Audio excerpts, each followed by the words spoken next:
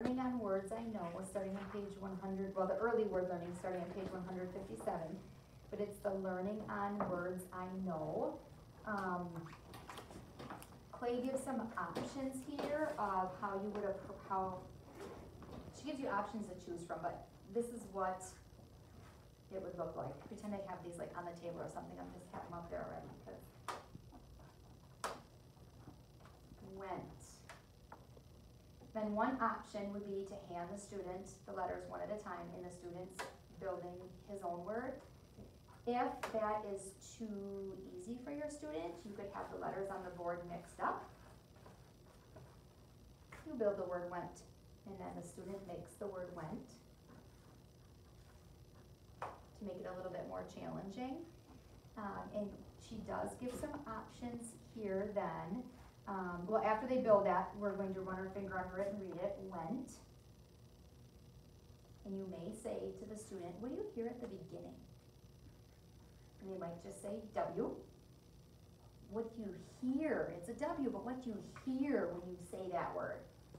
They might then say wha, wha, or you might have to say to them, say the word slowly, went.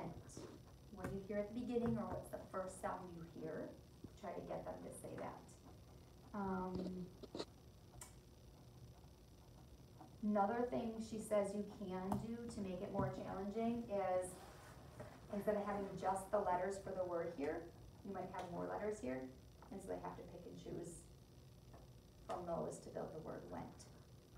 But it's you're building the model, they're building it with wherever they're at with their learning, um, and then swiping the finger underneath and reading it, went.